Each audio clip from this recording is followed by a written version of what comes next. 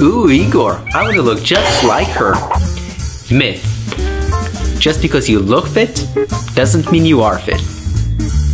Fitness is your ability to do any chosen task, whether it be sports or your day to day activities. So, you want to look just like her?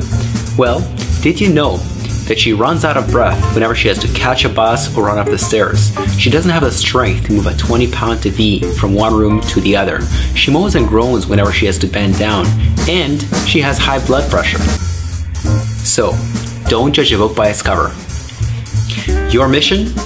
Focus on your ability to do. For example, focus on your ability to do your fundamental movements like your squatting, lunging, pushing, pulling, all that has the fringe benefit of muscle toning, thereby improving your looks.